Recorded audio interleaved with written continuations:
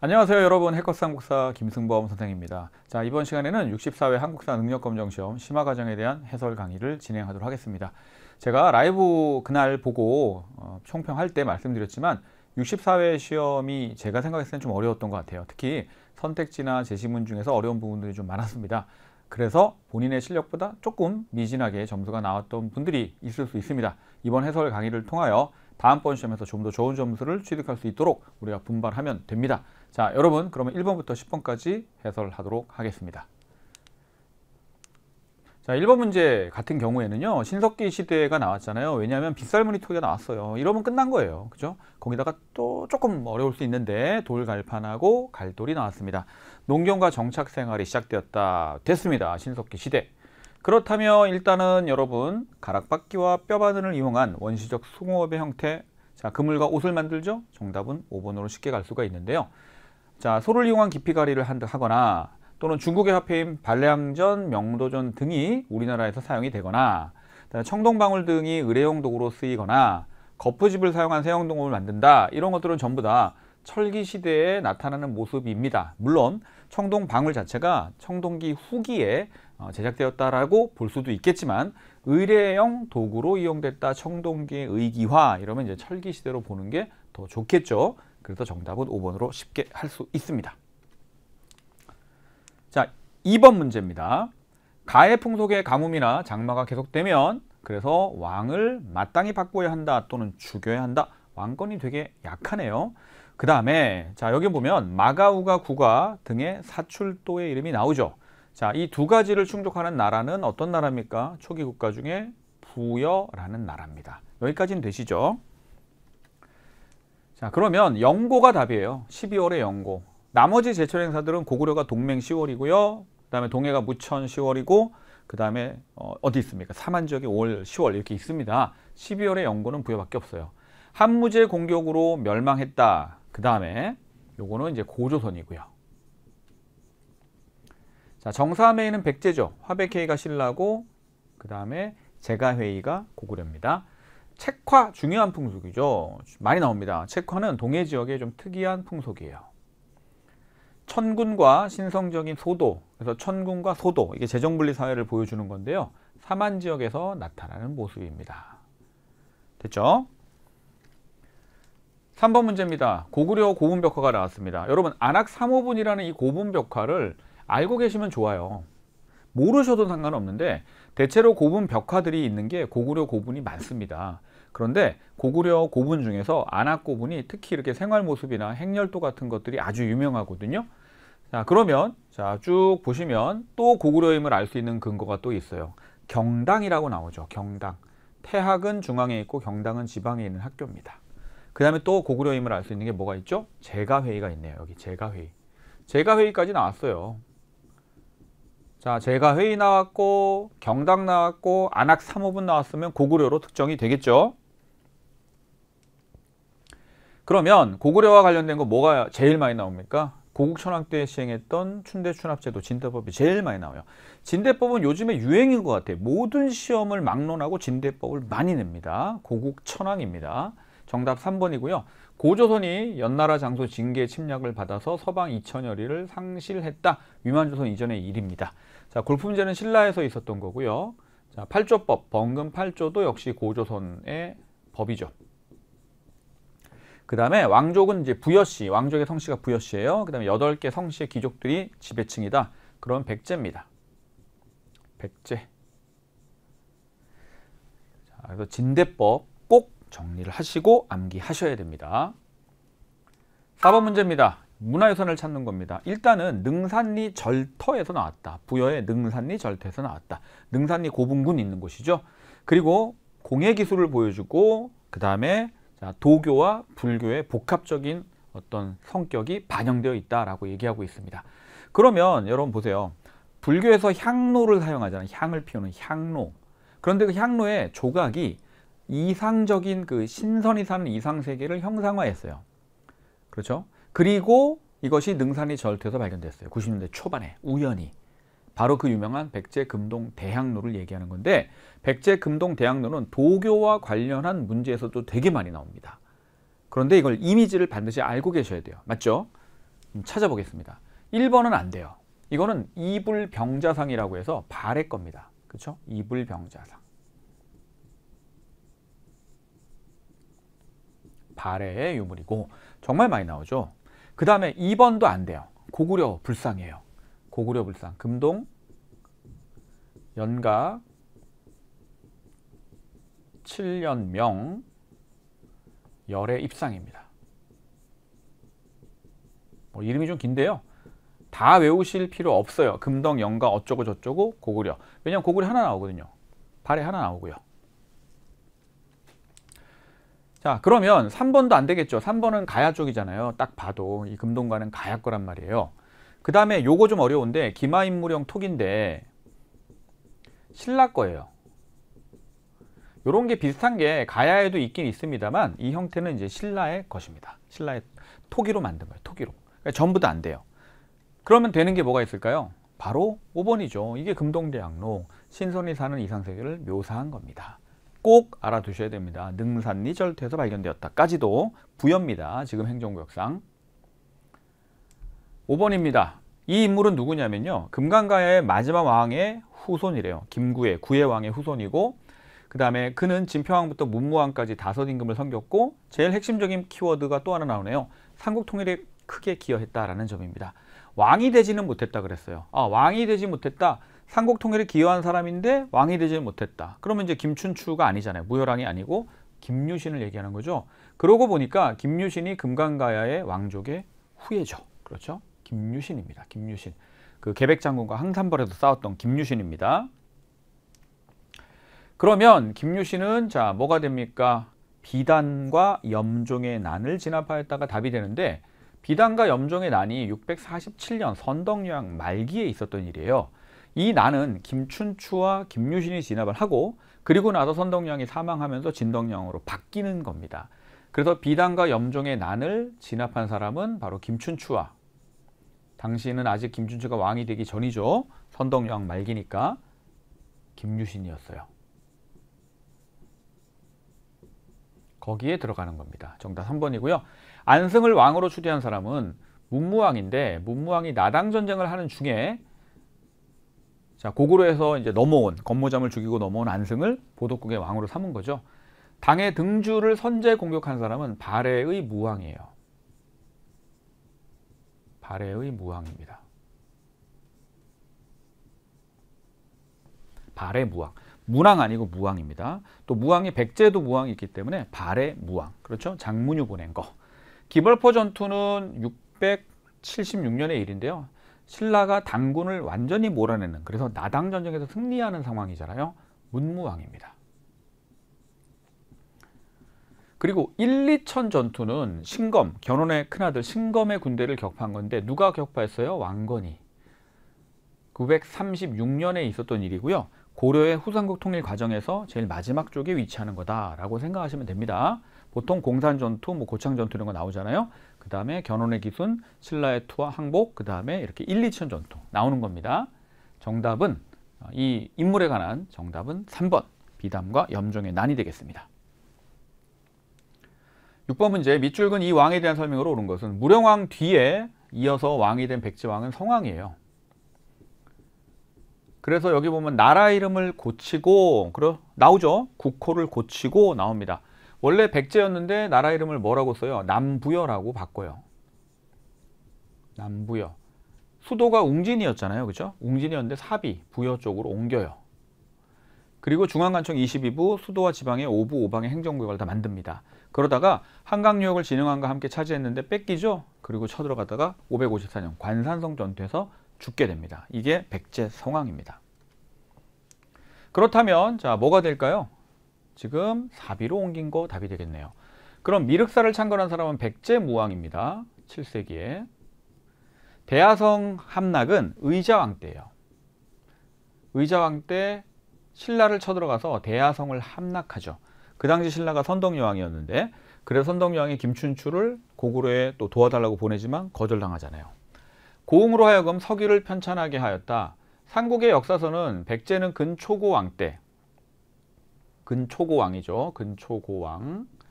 이때 석이 나오고요. 신라는 진흥왕 때 뭐가 나옵니까? 진흥왕 때 국사가 나오죠. 고구려는 영양왕 때 신집 다섯 권이 나옵니다. 그래서 근초고왕. 음, 이거 제가 다시 한번 여기다 써볼게요. 근초고왕입니다. 4세기. 그럼 이제 이 사람은 누구예요? 북위의 사신을 보내 고구려 공격을 요청하였다. 자, 이 사람은 계로왕입니다. 계로왕. 계로왕은 이제 5세기 후반이 되겠죠. 그런데 북위가 안 도와줬어요. 그리고 나서 장수왕의 공격을 받습니다. 자, 수도가 함락되고 계로왕이 사망하게 되고요. 그 아들 문주가 웅진으로 천도를 하게 되죠. 그래서 웅진천도가 되는 건데 정답은 이 왕에 대한 설명이니까 사비로 수도를 옮겼다. 2번이 되겠습니다.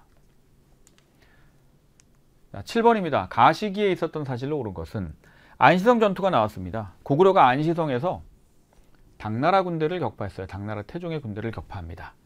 그리고 고구려를 집권층 내부에서 내분이 일어나죠. 왜냐하면 영계소문이 죽었거든요. 영계소문이 사망했어요. 영계소문이 죽고 자식들 사이에 내분이 일어나면서 고구려가 내부로, 내부적으로 또 무너지기 시작을 합니다. 영계소문의 사망은 정확한 연대를 특정하기는 좀 어려운데요. 665년 경으로 보고요. 그 다음에 연남생이 결국은 투항을 하죠. 연남 지금 건이 연남생을 몰아냈다 그랬어요. 그러니까 연남생은 당으로 망명을 가죠. 그러면 연남생은 어, 투항하겠다고 했다. 그러니까 이제 이게 뭐야? 성을 당에 바치며 투항했다. 연남생이 지금 간 거잖아요. 당나라로. 그렇죠. 그러면 이제 그 연계소문 사후의 일들이란 말이에요. 그러면 이 사이에 들어가는 일을 찾아야 되는 거죠. 자 그렇다면 소수림왕이 율령을 반포한 건 4세기 때 일이라서 안 되는 거고 그 다음에 진흥왕이 대가야를 정복한 게 622년이라서 이것도 안 되는 거죠. 을지문덕이 살수대첩에서 수나라 군대를 격파한 것은 안 되는 거죠. 당나라죠. 수나라를 격파하면 안 돼요.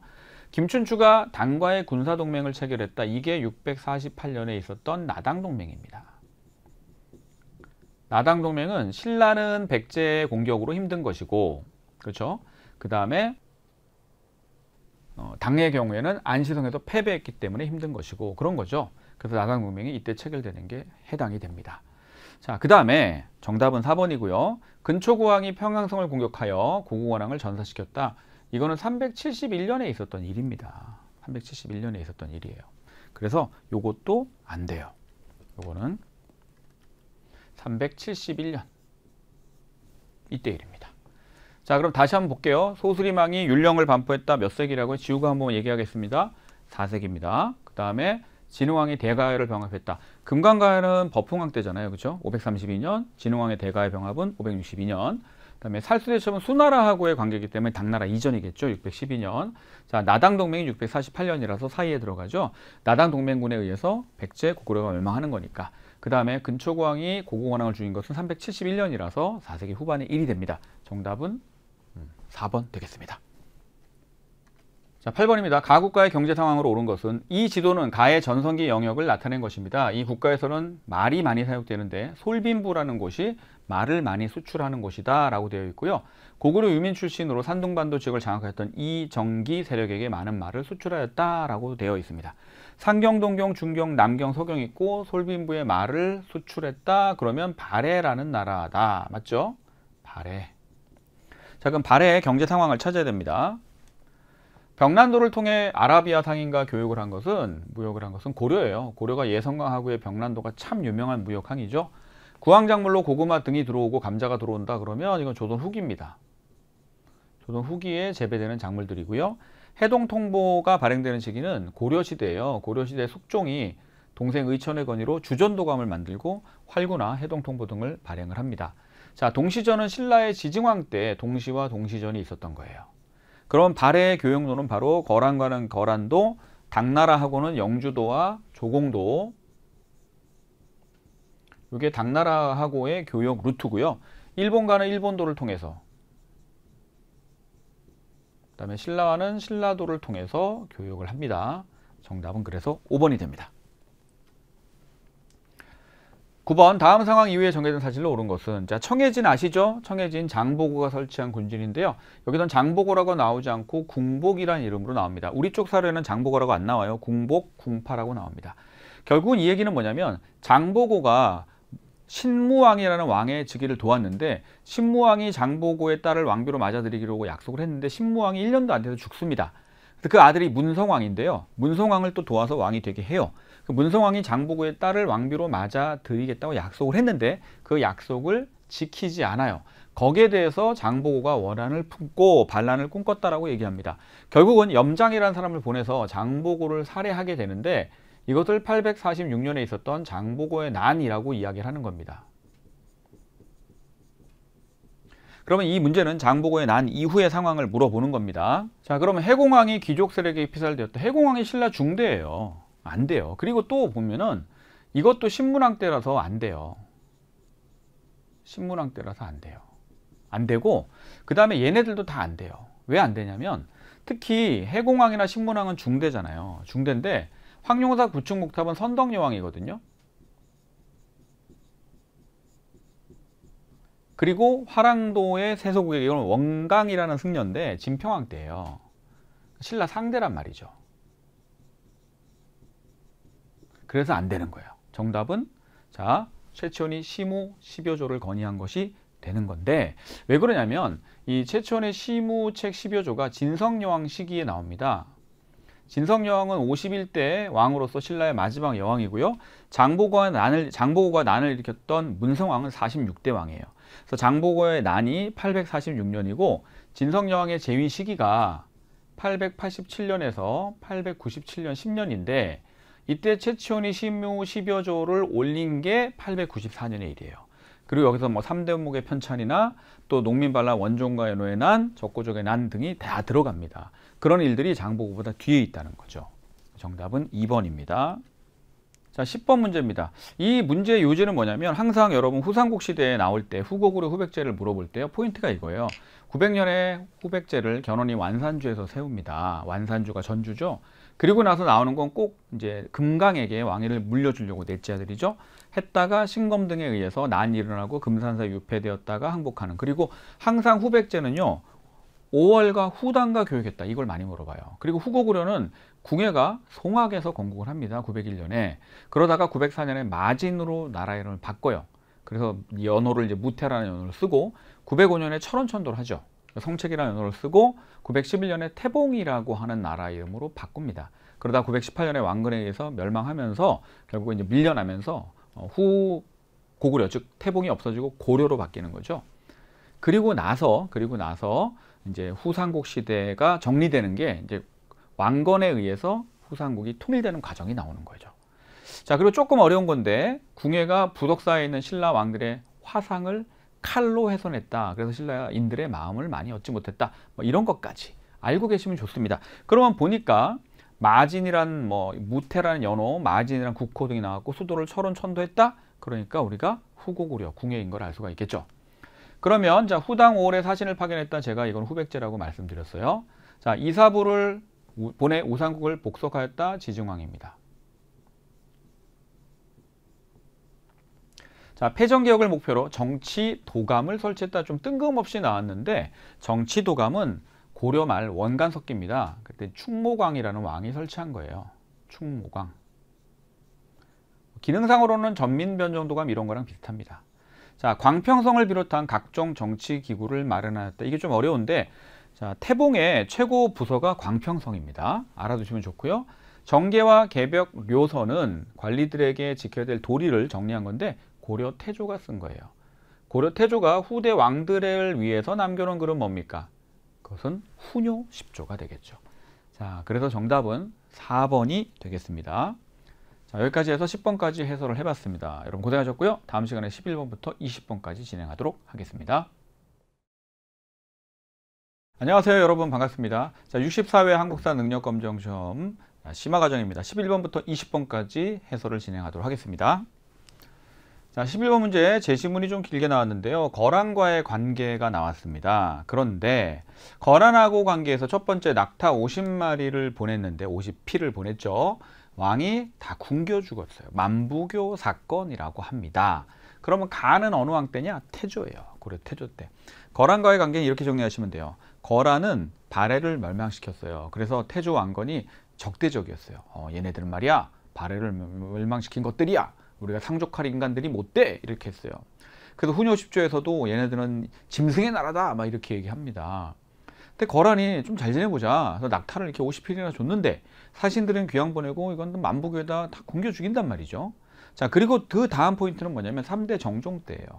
거란 국이 요라는 나라 이름으로 바꿔서 팽창이 되니까 3대 정종이 30만의 광군 광군 30만을 특수군으로 편성을 합니다. 그 얘기하고요.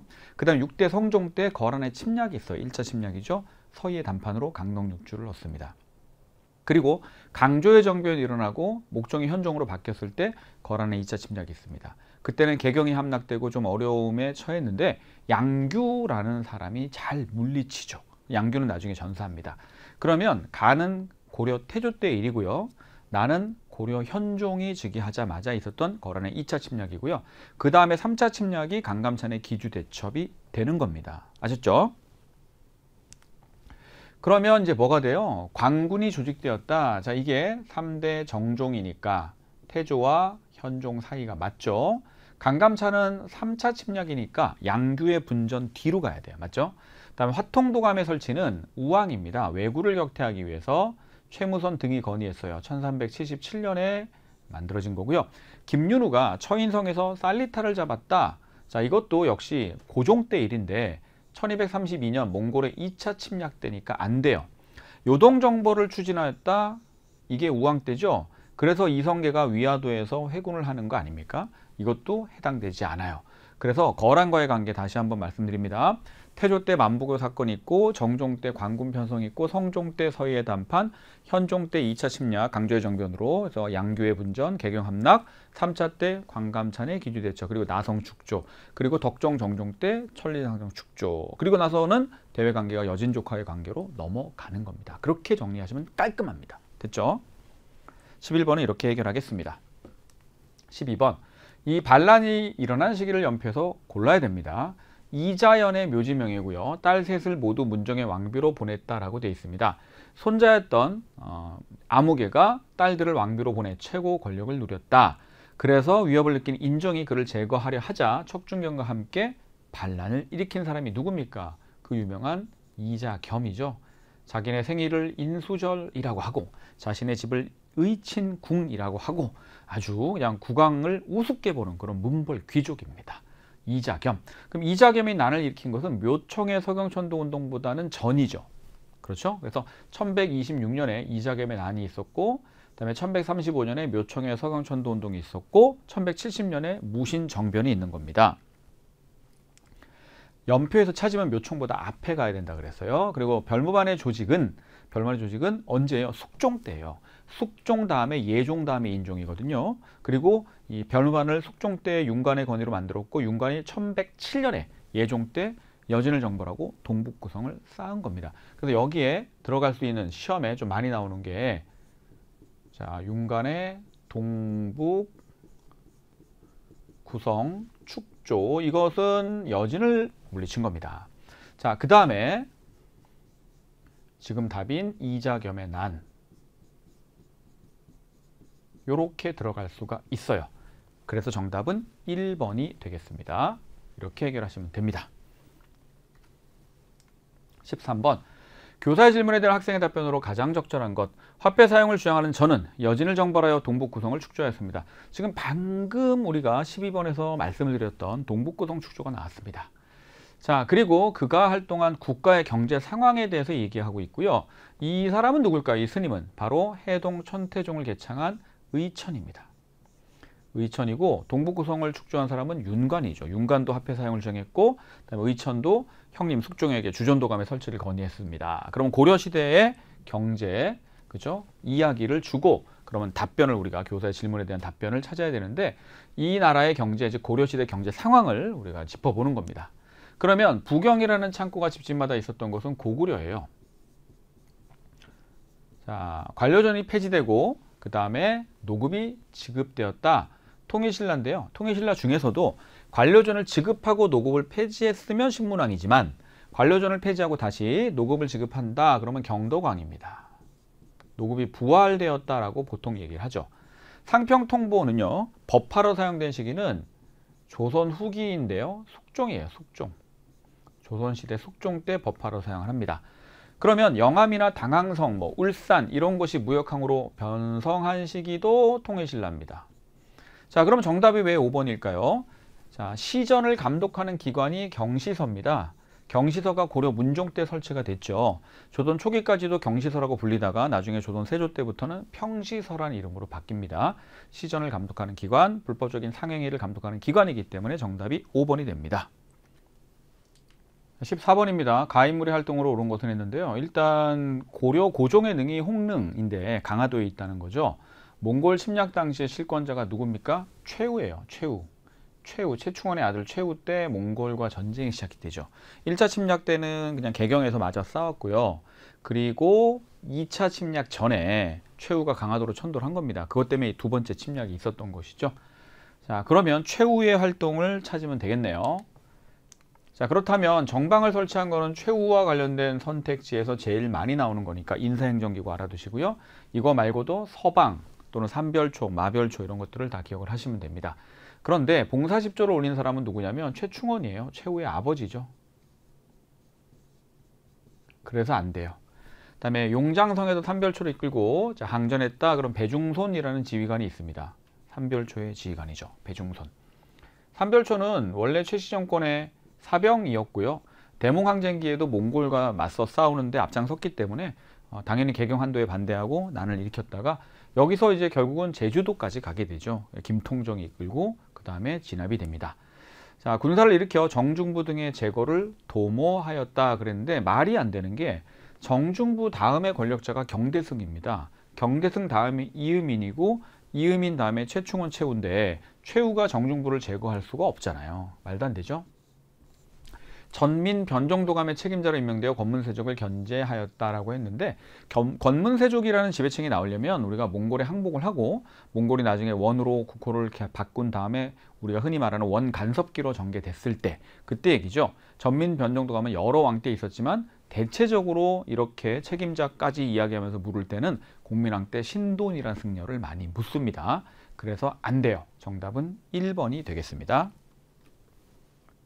15번입니다. 다음 대화 이후에 전개된 사실로 옳은 것은 원의 공주와 혼인한 태자께서 돌아와 왕이 되신 건 알고 있는가? 이전에 변발과 호복 차림으로 돌아오신 걸 보고 눈물을 흘렸다네. 나도 그랬다네 그나저나 며칠 앞으로 다가온 일본 원정이 더 큰 걱정이다. 자, 원 간섭기에 고려 왕이 몽골의 공주와 결혼하는 원의 공주와 결혼하는 내용이 나와 있고요. 그래서 변발과 호복에 그런 어떤 몽골 풍의 풍속도 나오고 있고요. 그 다음에 일본 원정을 한다라는 게 가장 핵심 포인트입니다. 일본 원정을 언제 하냐면 충렬왕 때 해요. 충렬왕 때. 충렬왕 때 일본 원정을 몽골이 원해서 우리가 두 차례나 협력을 하죠. 두 번 다 태풍으로 실패를 하게 되지만 그래서 그 과정에서 정동행성이라는 기구도 만들어지는 거니까 일단 이 문제는 원간섭기의 상황이라는 걸 알면 되겠네요. 자 그러면 보세요. 빈민구제를 위한 흑창이 처음 설치된 것은 고려 태조죠. 이 흑창이 성종 때 의창으로 바뀝니다. 그러니까 얘는 안 되고요. 망이 망소이가 공주 명학소에서 봉기한 것도 이것도 무신 집권기 1176년에 있었던 일입니다. 삼국사기도 이자겸의 난을 진압하고 그 다음에 이제 묘청의 서울천돈동이 있고 묘청의 난이 실패하고 나서 김부식이 삼국사기를 편찬한 거죠. 고려 인종 때라서 안 돼요. 그럼 김보당이 의종 보기를 주장하면서 난을 일으켰다. 이것도 무신집권기에 해당이 되겠죠. 김보당의 난은 1173년에 있었던 일입니다. 그러면 자 원간섭기 이후의 일이니까 쌍성 총관부의 수복 이게 어느 왕이에요? 공민왕이에요. 반원 정책할 때 공민왕. 그러니 이 문제에서 정답은 5번밖에 될 수가 없는 겁니다. 16번입니다. 가에 들어갈 문화유산으로 적절하지 않은 것은 고려의 불교 문화에 관한 내용이고요. 그러면 지금 예산 수석사 대웅전이 나왔습니다. 주심포 양식, 수월 간음도 나왔죠. 가. 자 보겠습니다. 뭐가 안 되나? 월정사 팔각구층 석탑은 자 고려시대 문화유적이 유물이 맞죠. 논산관촉사 석조 미륵보살 입상 은진미륵 이것도 맞습니다. 원주 법천사지 지광국사 탑비 지광국사 현묘탑도 있고요. 그 탑비도 있는 거죠. 고려시대가 맞아요. 그런데 왜 얘가 안 되냐? 보은 법주사 팔상전은 조선 후기의 건축물이에요. 조선 후기에 이렇게 겉으로는 다층으로 보이지만 통층 구조로 만드는 것들이 꽤 유행이고요. 그 다음에 이 법주사 팔상전은 완벽한 5층 목탑의 형식을 가지고 있는 건물입니다. 항상 짝지어 나오는 게 법주사 팔상전, 화엄사 각항전, 금산사 미륵전, 공주의 마곡사 대웅보전 이런 건물들이 조선 후기 사찰 건물을 대표하는 것이다. 알고 계시면 굉장히 좋습니다. 자, 5번의 경우에도요. 영주 부덕사 무량수전인데요. 주심포 건축물 중에 지금 남아있는 것 중에선 가장 연대상 오래된 고려시대 건축물입니다. 자, 이것도 맞죠? 17번 밑줄근 왕의 재위 시기에 있었던 사실로 옳은 것. 자, 동국 정운이란 책인데요. 이 책이 좀 어려웠어요. 왜냐하면 세종의 편찬 사업, 조선 세종의 편찬 사업 할 때 항상 여러분들이 염두에 두는 것이 농서는 뭐 농사직설, 그 다음에 또 뭐 있습니까? 뭐 칠정상 같은 거, 의서는 뭐 집, 향약 집성방이나 의방 유치, 뭐 상강 행실도, 어, 또는 화약무기 제조에 관한 총통 등록 이런 걸 많이 보는데 의문서를 잘 못 봐요. 동국정운이 낯설 수 있습니다. 그리고 어, 집현전 학사들과 함께 했다는 집현전에서 좀 힌트를 얻으면 좋긴 한데요. 자, 그러면 이 왕은 세종이라는 거 알고 계셔야 됩니다. 집현전 학사들과 함께 동국정원을 편찬했다. 그렇죠? 세종. 자, 갑인자가 제역되었다. 이게 왜 맞냐면 먼저 조선이 인쇄기구를 태종 때 만든 인쇄기구가 있어요. 주자소라고 있습니다. 주자소를 설치하고 여기서 활자를 만드는데 개미년에 만들어서 개미자라고 하는 것을 주조를 해요.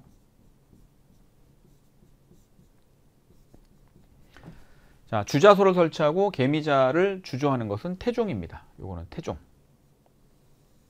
요거는 태종이고요. 자, 그러다가 세종 때가 되면 자, 활자들이 더 많이 만들어집니다. 갑인자. 갑인년에 뭐 경자자. 경자년이겠죠? 병호자 그럼 뭐 병원연이겠죠 이런 것 등등을 주조를 하고 그 다음에 식자판 조립 방식까지 나오게 됩니다 그래서 이 선택지가 참으로 어려웠어요 정답이 세종과 관련해서 1번입니다 금이형을 설치한 건 조선 후기의 숙종이라서 안 되는 거고 무해도부 통지도 조선 후기 정조라서 안 되는 거고요 경국대전의 완성도 성종이라서 안 돼요 자 그러면 현량과는 누굽니까? 중종 때죠. 조광조의 건의로 실시했다가 결국 조광조가 김효사로 물러나게 됩니다. 어, 제거되게 되는 거죠. 그러니까 정답은 1번이에요. 1번. 세종의 어, 제위식에 있었던 사실인데 문제가 참 어렵게 나온 겁니다. 18번 문제. 가궁궐에 대한 설명으로 옳은 것은 유네스코 세계유산에 등재된 조선의 궁궐 하나밖에 없습니다. 유네스코 세계문화유산에 등재된 조선의 궁궐은요. 창덕궁밖에 없어요.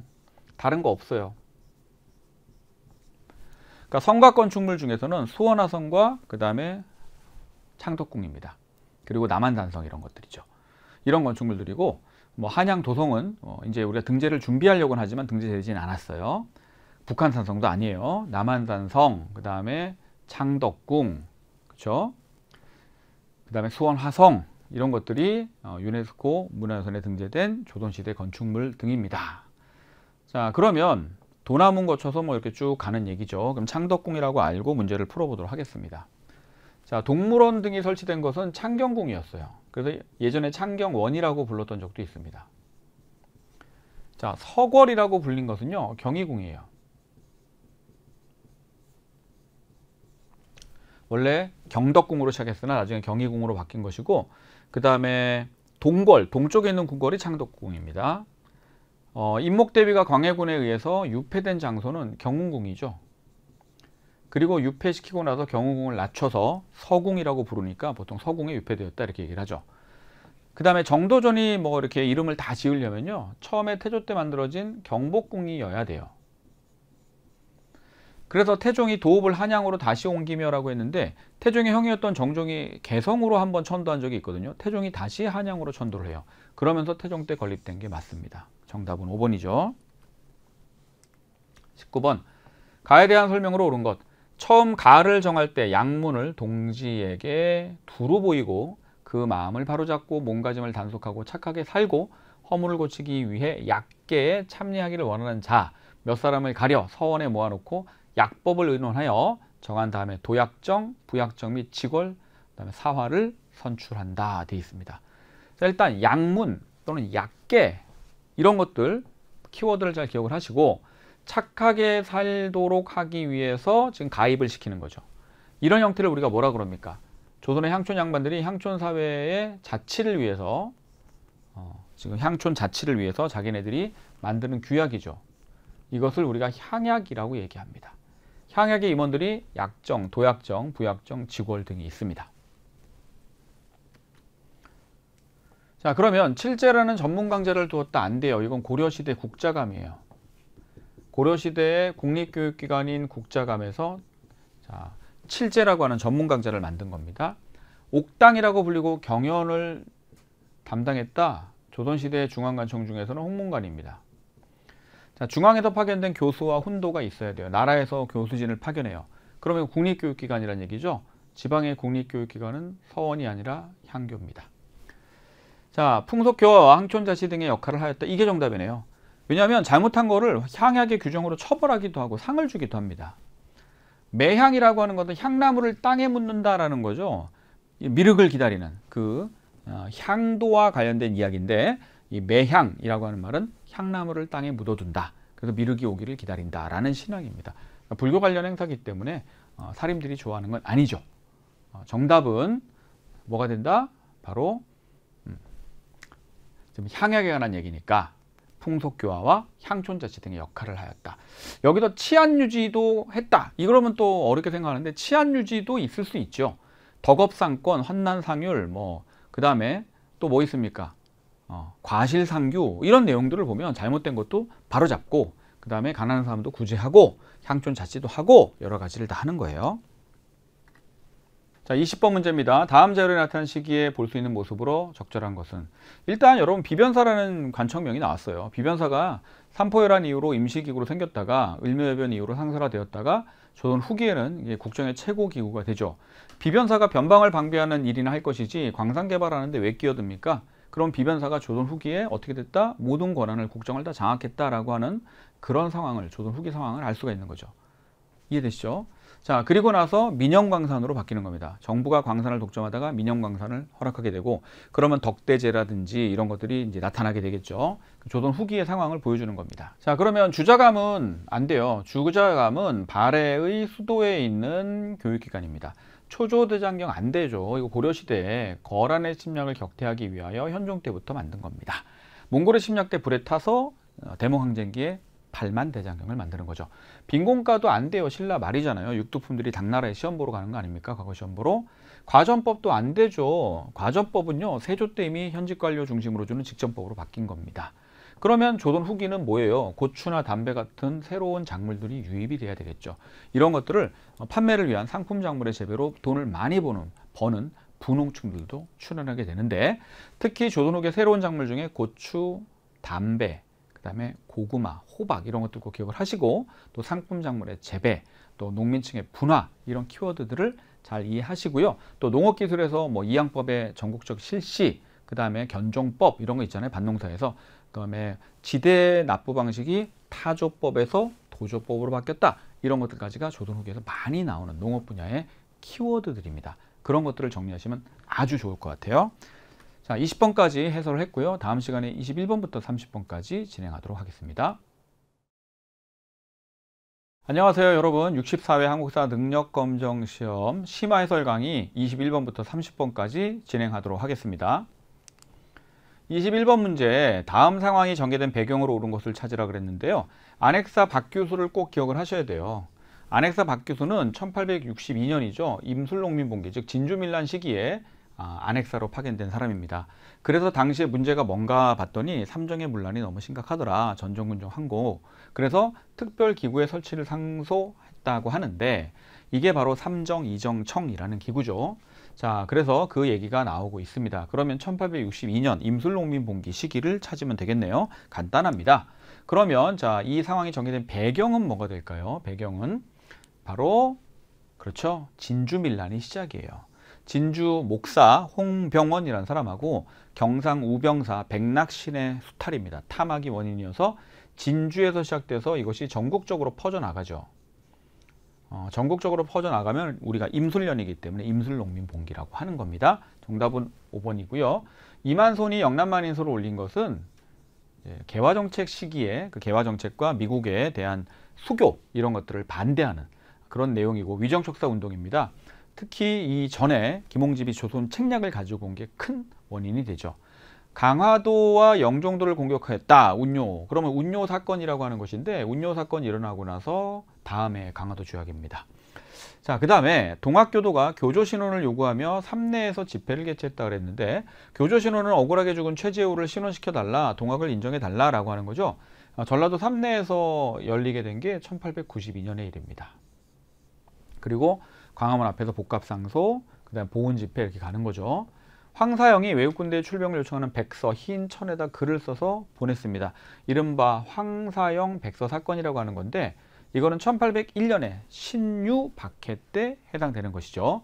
특히 신유 박해 때 정약용, 정약전 등등이 귀양을 가는 것도 알아두셔야 됩니다. 황사영 백서 사건. 정답은 5번이 되겠습니다. 22번 밑줄근 전하가 제위한 시기의 사실로 옳은 것은 무술년 봄에 양성지가 팔도 지리지를 바치고 서거정 등이 동문선을 바쳤다. 팔도 지리지 나왔고 동문선 나왔습니다. 하나 조심하셔야 되는 게 여기 팔도 지리지에 만약에 신찬이 붙으면 신찬 팔도 지리지 하면 세종이거든요. 동문선 보고 알수 있겠죠. 그래서 전하는 누구다? 조선 성종입니다. 조선 성종. 그래서 경도의 첫머리에 팔도 총도를 기록하고 뭐 이런 얘기 나오고 각도 앞에 도별지도를 붙여서 양경 팔도로 하고 뭐 등등 나왔습니다. 됐죠? 자 그러면 성종이 제위한 시기의 사실을 한번 찾아보도록 하겠습니다. 자, 가래집남이 저술되었다. 가래집남. 일단은 가래집남이 사계 김장생이라고 하는 분이 쓴 건데요. 이거는 16세기에 나온 거예요. 그 다음에 동문휘고. 동문휘고도 정조예요. 정조. 그 다음에 국조오레이가 완성된 게 정답입니다. 항상 성종도 편찬을 외우셔야 되는데요. 동국 통감 역사, 동국 여지 승남, 지리서, 국조오레의, 윤리의례서죠. 그러니까 의례, 국가 의례서고요. 자, 그 외에도 성종 때 나왔던 책들, 뭐 악학 개범이라든지 아까 얘기했던 팔도 지리지, 동문선, 경국대전의 반포 이런 것들을 알고 계셔야 됩니다. 동의부감이 간행된 거는 언제입니까? 광해군 때죠. 전쟁 끝나고. 역대 무물제도를 정리한 동국문헌 비고 상당히 중요한 백과사전인데 영조 때입니다. 그래서 모두 안 돼요. 정답은 3번이 되겠습니다. 자, 23번 가에 들어갈 내용으로 가장 적절한 것은 땡땡 정쟁과 혼란의 한가운데 서다라고 했습니다. 땡땡의 즉위와 집권 시기를 다큐멘터리로 제작하여 훈구와 살림, 대립 등 나라 안팎으로 혼란스러웠던 당시 상황을 살펴본다. 반정으로 연산군이 폐위되고 누가 즉위합니까? 중종이 즉위하죠. 삼포에서 외인들이 난을 일으키죠. 삼포회란. 자 그리고 가가 일어납니다. 자 그러면 이게 누굴까요? 중종 때 등용해서 뭐 예를 들어 사림의 개혁을 추진했던 사람 조광조 아닙니까? 조광조. 그렇죠? 그러면 조광조는 위훈 삭제를 주장했었어요. 중종반정에 공신으로 책봉된 자들 중에 거짓이 많다. 위훈 삭제. 이괄의 나는 인조 때 인조반정 직후에 있었던 일이고요. 유일하게 수도를 점령했던 반란입니다. 허적과 윤유 등의 남인이 대거 축출된 것을 경신왕국이라고 해요. 경신왕국. 그러면 이제 경신왕국은 숙종이죠. 정일이 모반 사건은 언제입니까? 선조 때예요. 선조 때. 그리고 기축옥사가 일어나죠. 정일입 모반 사건은 정일입이 난을 꾸몄다라고 하는 것이고 정일입이 동인 쪽이었는데 이때 담당 수사를 담당하던 책임자가 송강 정철입니다. 서인. 정철이 동인 쪽을 많이 죽였죠. 이것 때문에. 그래서 그것을 기축년의 옥사다. 그래서 기축옥사라고 하는 것이고 이 정열인 모반 사건 기축옥사 요것 때문에 나중에 또 동인 내에서 남과 북으로 또 분화가 되기도 하죠. 조의제문이 발단이 되어 김일손 등이 화를 입었다. 김일손은 이제 죽임을 당했고 그 조의제문을 썼던 김종직은 부관 참시를 당하게 됩니다. 이게 무오년의 사화죠. 무오년의 사화. 무오사화입니다. 자, 정답은 4번. 자, 가전쟁 중에 있었던 사실로 옳은 것은 했습니다. 조헌은 금산에서 700여 명의 의병을 이끌고 왜군과 싸우죠. 그 금산에 보면 700의총이라고 있어요. 이게 임진왜란 때입니다. 가 당시 활약하는 의병장 김천일 나왔어요. 그 다음에 정문부 장군 나왔어요. 특히 길주대첩비 굉장히 중요하고요. 김천일 장군 2차 진주성 전투 때 전사하죠. 그러면 자 이분은 누굽니까? 조헌 나왔고 또 사명대사 승병으로 참여했던 이런 분들이 나왔습니다. 자 이종무가 대마도를 점령한 것은 세종이에요. 그 다음에 송상현이 동래성에서 항전했다가 답인데 이게 답하고는 조금 사실 거리가 멀긴 해요. 송상현 동래부사, 부산참사 정발 이런 분들이 첫 초창기에 왜군이 쳐들어왔을 때 초창기에 부산 쪽에서 싸우다가 전사하신 분들이죠. 김상용이 강화도에서 순절한 것은 병자호란이에요. 강화도가 함락되자마자 투신합니다. 음. 아, 투신이 아니라 뭐라 그래야 되죠? 폭약으로 자폭이라 그래야 되나요?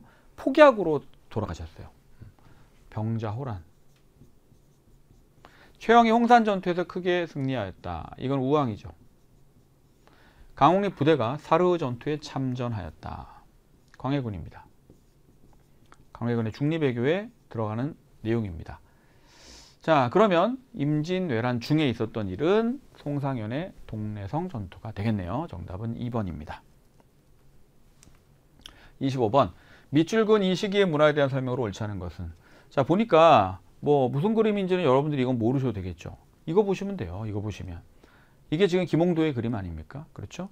이것도 뭐 말 발굽을 어, 끼우는 그런 그림이긴 한데 자 그래서 보니까 조영석과 김홍도의 그림이라고 줬어요. 조선 후기의 상황입니다. 그렇게 해서 이 시기의 특징을 찾으시면 돼요. 자 그러면 조선 후기에 진경산수와 그리잖아요. 누구예요? 정선, 겸재정선의 금강전도와 인왕 재색도 그 다음에 자 정선입니다. 정선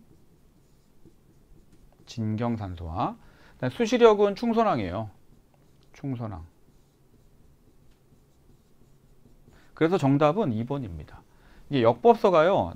고려 시대는 이제 당의 선명력을 쓰다가 고려 후기의 원의 수시력, 공민왕이 명예 대통령 가지고 오고 조선 세종이 칠정산, 조선 후기의 시현력 이렇게 가는 거죠. 조선 후기이려면 시현력이라고 하면 맞아요. 양반 사회를 풍자한 탈춤 같은 것들 괜찮습니다. 판소리 괜찮고요. 한글 소설 다 서민 문화의 장르죠. 정답은 2번입니다. 자, 26번입니다. 밑줄 근 왕의 제위 시기에 있었던 사실입니다. 대전 통편의 완성 이걸로 끝났어요. 왜냐하면 여러분 조선시대 법전은 반드시 외우셔야 돼요. 경국대전 성종 때 완성됐죠. 그 다음에 속대전 영조죠. 대전 통편 정조고요. 대전 회통이 고종 때 흥선대원군입니다. 그러면 이것은 정조잖아요. 정조. 오케이. 자 그럼 다른 거 볼 것도 없다니까요. 어, 이게 속전이 속대전을 말하는 거예요. 원전이라고 하는 건 경국대전을 말하는 거죠. 그래서 정조 정조로 특정. 그러면 초계 문신지 오케이 정답 맞죠? 근데 홍경래 나는 순조 때잖아요. 1811년이니까. 예송 논쟁은 여러분 현종이에요. 두 번이나 다. 이인자의 난이 언제입니까? 영조 때 소론과 남인 불만 세력들이 일으킨 반란 아닙니까? 자, 신류가 조총 부대를 이끌고 흥령관까지 갔다. 이게 바로 효종 때 나선 정벌이에요. 나선 정벌. 러시아 정벌하는데 조총 부대 보내라. 나선이 러시아거든요. 청나라가 요청을 해서 안 보낼 수가 없었죠. 현 효종이 죽기 전에 아, 나선 정벌입니다. 별이 아니라 나선 정벌 죄송합니다. 나선 정벌 오케이 다시 한번 요거 쓸게요. 나선 나선이 러시아예요. 러시아 나선 정벌 1654년과 58년 그리고 59년에 효종이 죽습니다. 효종의 북벌이 진행이 안 되는 거죠. 됐습니까? 정답은 1번이에요. 27번 가인물에 대한 설명으로 옳은 것은 주제 가의 강진 유배지를 찾아서 강진이라는 장소가 나오면 벌써 좀 떠오르는 분이 있죠. 그죠? 강진. 자, 그 다음에 해장선사 주선으로 거처한 곳. 아, 여기 나왔네요. 목민심서 경세유표 끝 정약용입니다. 그리고 아학 편훈의를 썼다. 이런 건 몰라도 되는데 목민심서, 경세유표, 흠음신서 등을 강진에서 귀향하는 시기에 많이 씁니다. 다산 정약용에 관한 문제예요. 해동제국기 정말 많이 나오는 거긴 한데 이건 조선 정계 신숙주가 쓴 겁니다. 자, 백운동 서원을 건립한 사람은 어, 중종 때 풍기 군수였던 주세붕이고요. 나중에 이황, 이황이 건의해서 명종이 소수소원으로 사액을 하는 거죠. 북한산비가 진흥한 순수비임을 고증한 사람은 추사 김정입니다. 자, 양명학을 연구하여 강화학파를 형성한 사람은 하곡 정제조가 되겠죠. 정제도. 수원화성 건축할 때 기기도서를 참고해서 거중기를 설계한 거죠. 정답은 5번입니다. 정약용. 자, 28번입니다. 이거 읽어보시면요. 되게 재밌는 게 불을 붙인 선으로 배에다 옮겨 붙게 했어요. 이게 대동강으로 접근했던 미국 상선인데 제너럴 셔머노 무역선이긴 하지만 상당한 무장 상태를 가지고 있었죠. 얘네들이 이제 평양에 막 올라와서 약탈하고 사람도 죽이고 그랬단 말이에요. 그래서 얘네가 이제 정박 중이었는데 대동강도 여러분 감조하천이기 때문에 썰물과 밀물의 차이가 되게 심해요. 썰물이 빠질 물때를 모르니까 배가 수위가 낮아서 걸려버린 거죠.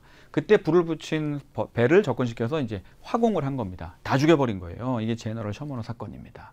1866년. 다음에 5년 후에 신미양요가 미국이 이걸 핑계로 쳐들어오는 거죠. 자 그러면 자 이 사건의 전말을 잘 기록했다라고 되어 있습니다. 이때 평양 감사가 박규수예요. 그러니까 임술농민 봉기 당시에 안핵사로 갔다가 이제 평안, 평안도 관찰사가 되어 있는 겁니다. 자 그러면 신미양요가 일어나는 계기가 답이에요. 그럼 신유박해는 1801년에 있었던 일이라 이것이 어, 그 원인이 될 수가 없죠. 전주 화약이 체결된 것은 동학농민운동 아닙니까?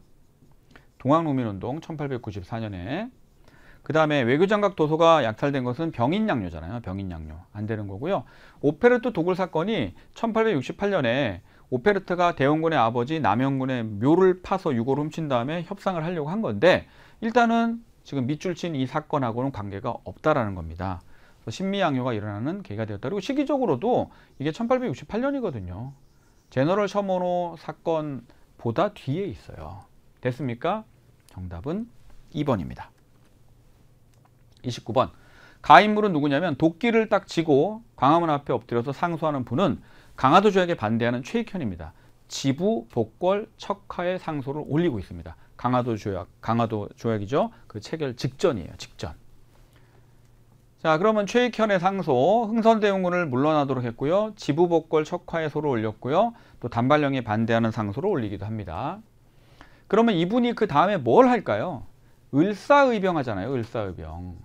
최익현과 임병찬, 민종식, 신돌석 이런 사람들이 을사늑약에 반발해서 을사의병하죠. 그러다가 스시마 섬에 끌려가시는 거고 대한강복회가 조직된 것이 일제강점기예요. 친일파를 처단한 건 맞죠. 근데 시기적으로 안 맞잖아요. 지금. 맞죠? 그러니까 이 대한강복회를 조직한 사람은 박상진이라는 사람이고 일제강점기입니다. 국권픽달 과정을 정리한 한국 통사를 집필한 분은 누구예요? 박은식이죠. 우리 고통의 역사. 13도 창의군을 지휘하여 서울 진공작전을 전개하였다라고 했는데 그러면 이제 당시에 창의대장 이인영이나 그 다음에 당시에 군사장이었던 허위 이런 분들을 기억을 하시면 좋고요. 자 보고관민을 기치로 우금치에서 일본군 및 강군과 싸워서 패배하죠. 역시 동학농민운동입니다. 동학의 2차 봉기입니다. 2차 봉기. 동학의 2차 봉기. 동학이 여러분 아까 우리 보면은 어, 동학이 전주 화약 얘기도 있었는데 예전에 그 동학의 1차 봉기하고 2차 봉기가 나눠지는 게 일단 그 답은 다시 한번 체크를 할게요. 을사의병입니다. 동학은 1차 봉기가 1894년에 일어나잖아요. 고부밀란 다음에. 그래서 쭉 그 안핵사 이용태의 폭정으로 일어납니다. 그래서 황토현, 황룡청 전투, 전주동 점령, 청일 양군의 파병, 근데 전주 하약 이렇게 되는 거죠. 전주 하약이 그래서 있는 거고 그리고 이제 해산했는데 직강서 설치하고 패전개혁안 뭐 하고 그 다음에 정부도 교정청 만들고 이렇게 됐는데 일본이 경북궁을 습격하죠. 그래서 청일전쟁 일으키고 가보개혁을 강요하게 되니까 동학이 2차 봉기를 해요. 남접 전라도 동학과 북접 충청도 동학이 연합을 합니다. 그래서 자 공주로 통해서 그러니까 이 논산에 집결했다가 공주를 통해서 서울로 올라가려고 하다가 공주 우금치에서 일본군과 관군을 만난 거죠.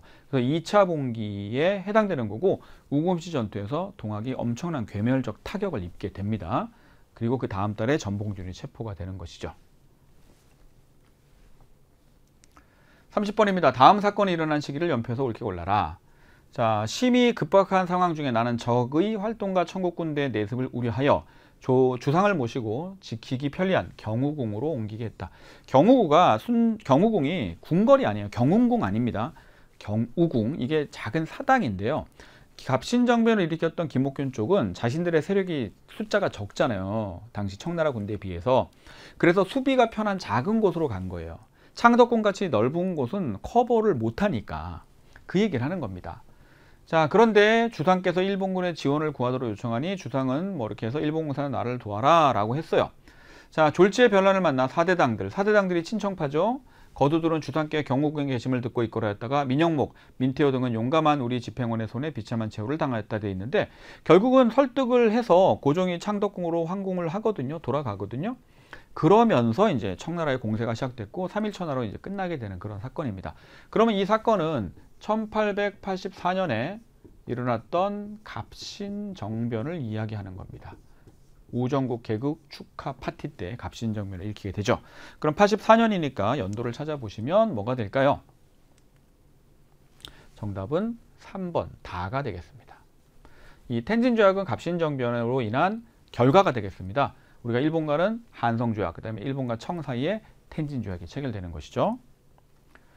자 이렇게 해서 30번까지 풀어봤습니다. 다음 시간에 31번부터 40번까지 진행하도록 하겠습니다.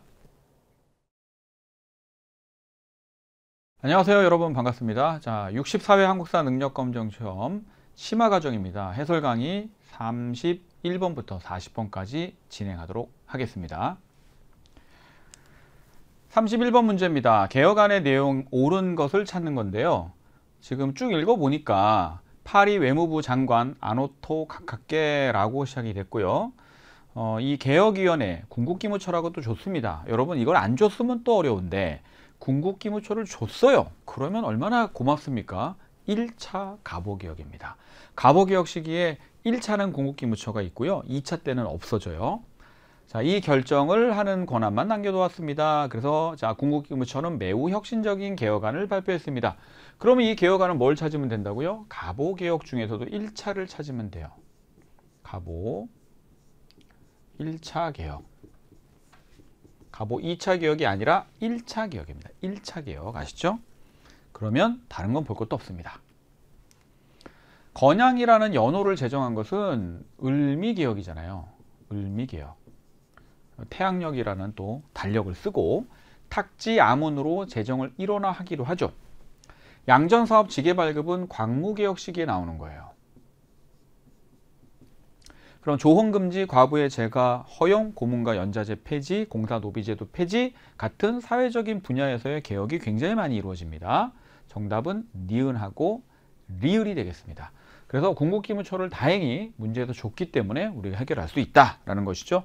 그래서 이 문제를 토대로 을미개혁과 가보 1, 2차 개혁의 내용을 좀 비교해서 보시는 게 좋고요. 광무개혁의 내용 중에서도 몇 가지 중요한 것들 뽑아서 이 개혁안들의 내용들은 좀 비교 정리하시는 내용이 어, 필요합니다. 그런 노력이 좀 필요해요.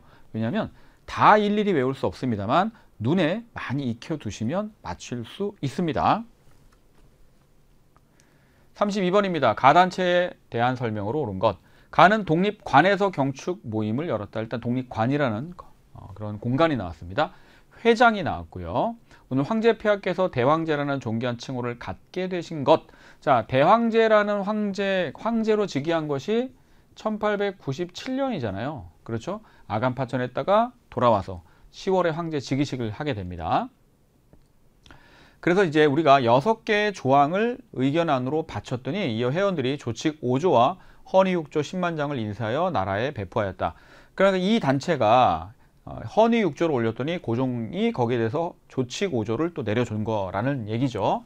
그러면 1897년에 대한제국이 수립이 되고 그 다음에 1898년에 당시에 독립협회가 관민공동회를 개최해요.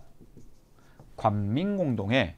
그래서 관민공동회를 개최해서 여기서 뭐가 나옵니까? 지금 여기 나오는 헌의육조가 나오는 거죠. 헌의육조. 중추원 신관제가 나오는 겁니다. 자, 그러면 총체적으로 이 가라는 단체는 어떤 단체다? 독립협회입니다. 그래서 이 부분이 여러분들 좀 어려우시면 이렇게 생각하시면 돼요. 1896년 2월에 고종께서 아간 파천, 러시아 공사관으로 파천을 하시죠. 어, 4월에 독립신문이 발행이 되고요. 7월에 독립협회가 만들어집니다. 그리고 고종께서 1897년 2월에 경운궁으로 환궁을 합니다. 그리고 그해 가을에 자, 연호를 정하고 광무로 대한제국을 수립하죠. 황제가 되죠. 그러면 독립협회는 일단은 황제를 중심으로 우리가 일치 단결해야 된다라는 취지로 이야기를 합니다. 그러면서 1898년 접어들면 만민공동회, 관민공동회로 확대가 되죠. 관민공동회가 어, 헌의 6조를 제시했고 그 다음에 관선 25명, 민선 25명으로 구성되는 50명의 중추원 관제를 제안했을 때 고종이 승인을 해요. 근데 여기에 두려움을 느낀 보수파 관료들이 독립협회가 공화정을 추진한다라고 모함을 하고 거기에 두려움을 느낀 고종이 한국협회와 군대를 동원하여 독립협회를 강제 해산한 것이 1898년 12월의 일입니다. 그래서 학생들이 이런 이제 질문을 합니다. 독립협회는 입헌 군주제를 지향한다고 했는데 왜 황제 폐하께서 뭐 대왕제라는 존귀한 칭호를 갖게 되신 뭐 이런 경축일 이런 얘기를 하느냐? 독립협회는 입헌 군주제 아니냐? 황제권이 강화되는 것을 바라지 않는 거 아니냐? 물론 이제 맞아요. 독립협회가 입헌 군주제를 추진하는 건 맞습니다. 하지만 독립협회는 대한제국의 수립을 어떻게 받아들이냐면 우리가 청나라의 속국이 아닌 자주국가다라는 의미에서 황제를 칭한다라고 그 취지를 받아들이고 있는 거예요. 그래서 크게 동의하는 것처럼 보이는 그런 표현이 있는 것일 뿐 결국은 독립협회와 고종의 갈등은 어딥니까? 공화정 추진설이잖아요. 보수파들이 만든 조작한 그 공화정 추진설 때문에 독립협회를 강제 해산하는 거거든요. 그렇죠? 그래서 어, 독립협회는 전제군제를 옹호한 것도 아니고 공화정을 지향한 것도 아니고 입헌 군주제를 지향했다라는 겁니다. 하지만 고종이 광무개혁 이후에 또 특히 대한제국 수립 이후에 황제권을 계속 강화하는 내용으로 가다 보니까 그런 충돌이 나타나는 거고요. 독립협회를 강제 해산한 다음에 1899년에는 대한국 국제라는 헌법이 나오게 되는 것이죠. 자, 이 단체는 독립협회입니다. 그러면 답은 황무지 개강권 요구를 저지시켰다. 일단 내용은 중요한 내용인데요. 이거는 독립협회가 아니라 애국개몽운동 단체 중에 보안회의 활동입니다. 자, 그 다음에 요거 많이 나오죠. 이게 정답이에요. 러시아 저령도조차 요구에 반대하였다. 뭐 한러은행 폐쇄나 군사교련단, 재정고문단 철수시키는 거 다 독립협회가 하는 겁니다. 태극사관을 설립한 것도 중요한 내용이긴 한데 이거는 신민회죠. 애국개몽운동 단체 중에서 신민회 활동이고요. 밀립대학 설립운동은 1920년대에 전개되는 거라서 전혀 상관이 없습니다. 자, 조소왕의 삼균주의, 정치, 경제, 교육의 균등 알죠? 건국강령을 발표한 것도 대한민국 임시정부가 충칭해서 1941년에 발표하는 거랑 거라서 관계가 없습니다. 정답은 독립협회 활동 2번입니다. 33번입니다. 다음 규칙이 발표된 이후의 사실로 옳은 것. 한성 사범학교 규칙이에요. 자, 이게 언제 나오냐면 가보 2차 개혁 시기에 고종께서 교육 입국 조서라는 것을 반포를 합니다. 그러면서 한성 사범학교의 규칙과 외국어 학교 규칙 같은 게 만들어지는 거거든요. 그럼 그 이후의 일을 한번 볼게요. 자, 그러면 유경공원은 안 돼요. 길모, 벙커, 헐버트 등이 유경공원을 만든 것은 최초의 근대식 관리학교인데 1886년입니다. 우리는 1895년 이후의 내용을 찾아야 돼요. 정부가 동문학을 세워서 통역관을 양성하는 것도 83년의 일입니다. 80년대 학교고요. 자, 오산학교가 신민회가 주도해서 만든 학교인데 1907년에 남강 이승원 선생이 교장으로 만든 거고 8년에 안창호의 대성학교가 만들어집니다. 원산학사는 최초의 근대식 사립교육기관 아닙니까? 이것도 83년이죠. 그 다음에 교육입국 조서가 반포돼야지만 사부 함성 사범학교 규칙이 나와야 되죠. 다 맞는데 이것만 뒤로 가야 돼요. 정답은 그래서 3번이 됩니다. 오산학교 1907년, 안창호의 대성학교 1908년 신민이랑 관련됩니다. 34번. 가신문에 대한 설명으로 옳은 것 찾는 겁니다. 경천사지 십층석 탑에 대한 일본인들의 약탈행에 관해 보도한 무슨 기사를 읽어보았는가 보도 내용을 접한 헐버트가 사건 현장을 방문하여 사진을 촬영하고 목격자 의견을 청취했다더군. 제가 헐버트 얘기하면서 헐버트 굉장히 많이 얘기하는데요. 경천사지 십층석탑의 반환을 위해서 굉장히 애를 쓴 분이 헐버트입니다. 일본에 이런 행위가 알려진 것은 양기타카 베델이 창간한 뭐 대한매일신보입니다. 이게 영국인이 사장이라서 제대로 그래도 기사를 쓸 수 있는 거죠. 고종의 을사늑약에 대한 어, 그 친서 의견을 밝힌 친서도 무효 친서도 실어주기도 했고 그 다음에 뭐 나중에 국채보상운동을 가장 주도적으로 전개하기도 하고 대한매일 신보입니다. 자 그러면 한번 보겠습니다. 상업 광고를 처음 실었다? 안 돼요. 이거는 방문국에서 발행했던 한성 주보, 한성 순보 다음에 한성 주보가 있어요. 천도교 기간지로 발행되었다 안 돼요. 이건 만세보입니다. 1906년에 발행된 만세보. 이인직의 혈의 누라고 하는 신소설을 처음으로 연재했죠. 국채보상운동의 학산에 기여한 게 맞습니다. 조금 어렵게 나오는 건 고종의 을사늑양 무효 친서를 게재한 것과 그다음에 장지연의 시일에 방송된 곡이 황성신문에 실렸지만 일주일 뒤에 대한매일신문에도 실린다는 거 알아두시고요. 일장기 삭제 사건은 1936년에 있었던 일인데 당시에는 일제강점기이기도 하고 동아일보와 관련된 겁니다. 물론 동아일보 말고요. 다른 신문이 하나 더 있어요. 조선중앙일보라는 신문이 있습니다만 뭐 잘 안 나오니까 동아일보. 순한문 신문으로 열흘마다 발행한다. 순자가 들어가야 되겠네요. 한성순보가 되겠죠. 한성순보가 83년에서 84년까지고요. 방문국이 발행합니다. 갑신정변 실패 후에 중단됐다가 86년부터 한성주보라는 이름으로 주간지로 나오고 국한문 혼용이죠. 상업 광고 처음 실었고요. 그다음 2년 정도 발행하다가 재정 문제로 방문국이 문 닫으면서 중단이 됩니다. 자, 그래서 이 문제, 동, 이 대한매일 신보에 관한 문제의 정답은 3번이 되겠습니다. 35번 밑줄 그은 전쟁 중에 있었던 사실로 옳지 않은 것입니다. 무슨 이유로 이토 히로부미를 살해했는가라고 이제 법관들이 취조하고 있어요. 자, 일본은 전쟁 당시에 우리나라의 독립을 보장해 주겠다고 했다. 이 전쟁은 러일 전쟁이죠. 러일 전쟁 때 한일 의정서에 보면요. 대한제국의 영토와 독립은 보장한다 그랬어요.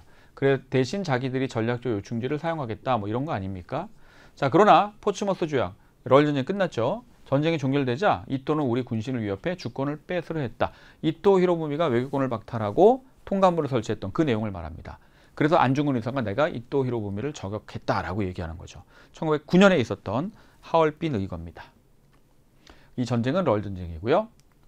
그러면 독도를 불법적으로 러일 전쟁 중에 자신들의 영토라고 편입하고 주장하기 시작합니다. 이건 맞아요. 가스라 테프트 미략이 1905년 7월인데요. 자, 이게 일본이 필리핀을 차지하고 미국이 조, 대한제국 조선을 차지하는 겁니다. 자, 그런데 가쓰라 태프트 밀약 다음에 8월에 2차 영일 동맹이고 9월 달이 포츠머스 조약이니까 맞는 거죠. 메가타가 재정 고문으로 초빙되었다. 자, 메가타와 메, 스티븐스가 초빙이 되려면요. 1904년 8월에 체결했던 1차 한일 협약과 관련돼요. 한일 협약의 결과로 지금 메가타와 스티븐스가 고문으로 오게 되는 거죠. 그 다음에 기후각서라고 하는 것은 사법권, 그 다음에 감옥 사무권이 박탈되는 건데 1909년에 있었던 일이고요. 자, 군사 전략상 필요한 적을 일본에 제공하는 한일 의정서가 맞습니다. 전쟁을 하기 위해서 전략적으로 군사적으로 필요한 적을 마음대로 쓰겠다. 그 다음에 너희들의 영토와 주권은 보장하겠다. 시정 개선에 대한 충고권 이런 것들을 담고 있는 내용이 한일 의정서입니다. 그래서 러일 전쟁 발발 직후에 한일 의정서, 1차 한일 협약, 그 다음에 1905년 넘어가면 가쓰라 태프트 밀약, 2차 영일 동맹 을사 포츠머스 조약 을사 늑약 외교권 박탈되죠. 그 다음에 헤이그 특사 고종 퇴위 한일 신협약 정미 7조약 기유각서 병합 조약 이렇게 가는 겁니다. 그 순서를 내용 내용과 순서를 알아두시고요. 꼭 정리를 하고 계셔야 됩니다. 36번입니다. 다음 규정이 시행된 시기에 있었던 사실로 옳은 것은 자 이건 토지 조사 사업을 보여주고 있어요. 임시 토지 조사국 조사 규정이라고 되어 있습니다. 그러면 토지 조사 사업은 언제부터 언제까지냐면 12년부터 18년까지입니다.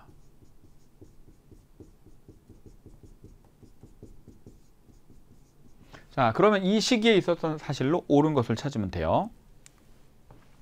회사령이 실시되고 있습니다. 1910년부터 이미 1910년부터 하고 있습니다. 원산 총파업은 29년입니다.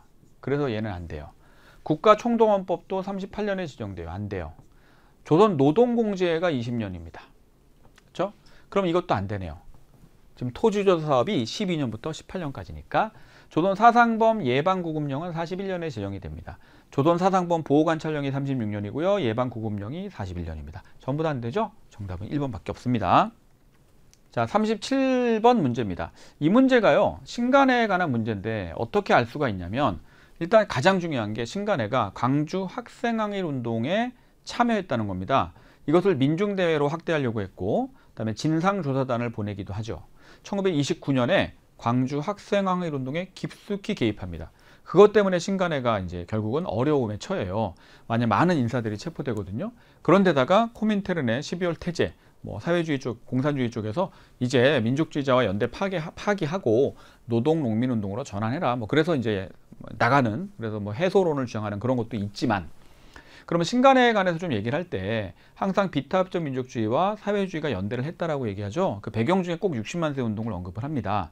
그리고 신간의 광주 학생항일 운동에 참여 이렇게 개입하는 거 이렇게 연결을 좀 지어서 알고 계셔야 돼요. 그러면 자 신간회가 1927년에 만들어져서 31년에 없어지는데 암태도 소작쟁이를 지원할 수는 없죠. 암태도 소작쟁이가 중요하긴 하지만 그러면 이제 좌익과 우익이 손을 잡은 거니까 민족 유일당 즉 민족 협동 전선이 맞아요. 부민간 폭파 사건은 부민간 의거라 그래서 광복 직전에 서울에서 있었던 거예요. 당시에 대한애국청년단이라고 하는 단체가 주도한 겁니다. 조동혁명 선언은 신채호 선생이 1923년에 의열단에 써준 거죠. 맞죠? 그 다음에 어린이날을 제정하고 잡지 어린이를 간행하였다라고 했어요. 잡지 어린이가 간행된 게 1923년입니다. 어린이날은 일단 22년 5월 1일 날 정했다가 제1회 기념식을 23년 5월 1일 하죠. 그래서 23으로 보든 22로 보든 큰 상관은 없는데 23년입니다. 전부 다 안 돼요. 그럼 해당되는 건 뭐가 있습니까? 신간회가 할 만한 거는 자 내용이 해당하는 것은 민족협동전선, 죠 이걸 민족유일당, 비타협적 민족주의와 사회주의의 연대 이렇게 보시면 됩니다. 38번 밑줄근이 운동에 대한 설명으로 옳은 것은 평양에서 조만식 선생이 일으켰어요. 조선 사람 조선 것으로 등의 구호가 나옵니다. 이게 그 유명한 물산 장려 운동이죠. 원래 회사령이 있었어요. 1910년에 회사령이 20년대 들어서면서 폐지됩니다. 회사 설립이 이제는 신고제로 바뀌면서 훨씬 쉬워져요. 일본 기업이 본격적으로 진출하죠. 그 다음에 1920년에 조선 관세령이 이제 어, 개정이 되면서 관세를 어, 이제 원래는 어, 부과했었는데 관세를 폐지하려고 합니다. 일본 상품에 대한 관세 폐지와 일본 기업의 진출 가운데서 우리 민족 기업이 살아남으려면 우리가 국산품을 사용해 줘야 된다. 뭐 이게 이제 물산 장려 운동의 시작이죠. 1920년 평양에서 한계가 있긴 있어요. 사회주의나 특히 노동자 계층에서 가격만 오른다. 이건 자본가들의 이익에 기여할 뿐이다라고 비판하기도 합니다만 이 운동에 대해서 보겠습니다. 통감부가 방해할 수 없죠. 20년 되면 조선 총독부니까. 조선 관세령 폐지를 계기로 확산이 됩니다. 그러니까 조선 관세령 폐지가 20년대 들어서면서 어, 시작이 되니까 원래 관세를 납부하면 일본 상품에게 관세를 부과함으로써 일본 상품의 가격을 올릴 수가 있는데 관세가 폐지되면 일본 상품이 싸게 들어오잖아요. 일본 기업도 많은 데다가. 그러니까 당연히 확산될 수밖에 없죠. 한국중앙총상회는요. 시전상인들이 만든 단체입니다. 1898년에. 한성은행, 자 한성은행이 1897년에 만들어지고 대한천일은행이 1899년에 만들어지는데 이 은행들이 뭐 사실 그래요. 시험에서는 많이 나옵니다. 그 은행 자체가 뭐 중요하다 아니다를 떠나서, 떠나서 이게 대한제국식이 만들어진 식사능업 정책의 결과이기도 하거든요. 그래서 이 은행들을 알아두시는 게 좋고요. 자, 일본, 프랑스 등의 노동단체로부터 격려 전문을 받았다라고 하는 것은 이게 원산 총파업이라는 겁니다. 노동운동에서는 원산 총파업 그렇죠? 이런 게 진짜 많이 나와요. 원산 총파업 알아두시는 게 좋습니다. 39번입니다. 밑줄 그은 시기에 볼 수 있는 모습으로 적절한 것은 태평양 전쟁 발발 후에 일제 전시동원 체제가 강화된 시기의 판결문입니다. 어, 땡땡땡은 이웃 주민과 잡담해서 자식이 징용되거나 근로보국대에 가지 않도록 취직시킨다 등의 발언을 하며 민심을 어지럽혔다는 이유로 징역형을 선고받았다는 뭐 내용이 있다. 그럼 이 시기는 이제 민족말살 통치 시기 중에서도 중이 지금 전, 이 태평양 전쟁, 1941년에 태평양 전쟁 이후니까 40년대 상황으로 또 국한해서 보시면 더 좋을 것 같아요. 자, 그러면 국가보안법의 철폐를 요구하는 학생은 될 수가 없는 게 국가보안법 자체는 광복 이후에 대한민국 정부가 어, 수립됐을 때 그래서 당시에 재헌국회가 12월에 제정한 법이라서 이때는 뭐, 나올 수가 없고요. 자, 여자, 여자들에게는 몸빼를 입히고 남자들에게는 국민복을 입히는 작업복을 입히는 이게 이 상황이 맞습니다. 인력 동원을 위해서. 경부선 철도가 개통되는 것은 5년이라서 안 되고요. 조선 형평사라고 백정들의 신분적 차별 철폐 운동을 전개하는 단체는 23년입니다. 자, 헌병 경찰에게 끌려가 태형을 당하는 학생, 어, 당하는 농민이라고 그랬는데 조선 태형령이 12년에 제정이 돼요. 조선인들은 때리는 형벌을 취하겠다라는 얘기죠. 근데 이것이 20년대 들어서면서 없어진다는 겁니다. 그래서 안 돼요. 자, 정답은 음, 이렇게 2번이 되는 겁니다. 40번 문제 다음 인물의 활동으로 옳은 것은 어, 호는 환산, 환매를 쓰고 김해 출신이고 합성학교 등에서 교사로 재직했고 그다음에 조선어 연구에 가입했고 그다음에 조선어 학회 사건으로 가혹한 고문을 받았다 이렇게 나왔어요. 일단은 여러분 이분이 누군지는 몰라도 되는데요. 이렇게 보면 조선 어학회와 관련된 활동이라고 생각하고 찾으면 되겠죠. 그럼 조선 어학회 활동 중에 제일 많이 나오는 게 맞춤 법통이란 제정한 거랑 표준어 제정한 게 있어요. 표준어. 그 다음에 우리말 큰 사전 편찬하기 위해서 말모의 작전 전개했던 거 그거 아시면 되고 그 전에 조선어 연구회 그러니까 조선어 연구회가 21년 그 다음에 이것이 조선어 학회로 바뀐 게 어, 31년이죠. 그럼 조선어 연구회 시절에서는 가게 하나를 정하고 한글이라는 잡지를 발행했다 이렇게 아시면 됩니다. 서유견문을 집필한 사람은 육일준이에요. 국문연구소가 설립된 것은 1907년 학부 소속인데 주시경이나 또는 뭐 지석영 선생 이런 분들이고요. 세계지리 교과서인 3인 필지를 한글로 쓴 사람은 헐버트입니다. 헐버트. 헐버트. 유경공원의 교사로 왔던 헐버트고 민족을 역사소설의 중심에 둔 독사실론을 1908년에 발표하신 분은 대한매일신보죠. 1908년. 그러면 신채호입니다. 됐죠? 그럼 선생님 이분은 누굽니까? 아, 이분은요. 조선어학회 회원 중에 이윤재라는 분이 있어요. 이윤재. 정답은 어쨌든 조선어학회 관련해서 1번이 되겠습니다. 자 이렇게 해서 해설해 봤고요. 다음 시간에 41번부터 50번까지 해설하도록 하겠습니다. 안녕하세요 여러분. 자 이번 시간에 한국사 능력검정시험 64회 심화과정 해설 강의 41번부터 50번까지 진행하도록 하겠습니다. 41번 문제 가부대를 찾는 건데요. 이 부대가 보니까 지청천이 총사령관이라고 나와 있고요. 충칭에서 만들었다고 나와 있습니다. 그러면 어차피 지역이 나올 때 충칭이 나오면 한국 광복군이에요. 한국 광복군이 충칭에서 창설이 됩니다 임시정부의 소속 부대죠. 음, 그리고 요거 말고 먼저 만들어졌던 것은 1938년 한커우에서 만들어진 김원봉의 조선 의용대가 있습니다. 그리고 의용대가 나중에 화북지대와 김원봉 계열로 좀 분화가 되죠. 김원봉이 나중에 임시정부의 한국강복군에 편입이 되면 그 조선 의용대 화북지대는 조선 독립동맹을 결성해서 조선 의용군으로 탈바꿈을 하게 되죠. 그리고 이런 시기에 만주 지역의 유격대를 찾으라 그러면 동북항일 연군을 찾으시면 됩니다. 보천보 전투. 됐죠? 자, 그래서 지금 보니까 한국 강복군에 관한 문제라고 생각하고 풀어보면 되겠습니다.